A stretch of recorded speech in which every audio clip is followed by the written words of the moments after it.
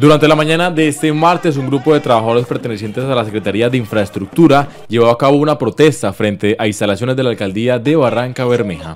El motivo de la manifestación es la falta de apoyo y atención por parte de la administración municipal. En este sentido, Eduardo Zúñiga, presidente del sindicato Sintra Municipal, expresó su preocupación y descontento ante la actual situación. Buenas tardes de la audiencia barranqueña. Hoy los trabajadores oficiales estamos en protesta para eh, hacerle tomar conciencia a esta administración, que no se tome la foto con el tercero, que se la tome con los trabajadores oficiales.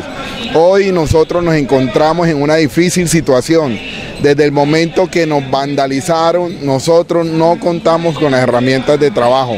Hemos venido sustentando con rifas eh, de nuestros bolsillos, sacando para herramientas, pero ya las bases dicen ya no más ya no más una administración que no ha volteado a mirar a los trabajadores, a la Secretaría de Infraestructura. Zúñiga mencionó que la problemática que atraviesan los trabajadores inició luego de la vandalización sufrida por las instalaciones en el sector conocido como Obras Públicas de la Comuna 3, esto en el marco del paro nacional del año 2021. Desde entonces han venido enfrentando dificultades y esperan acciones concretas por parte del alcalde para solucionarlas.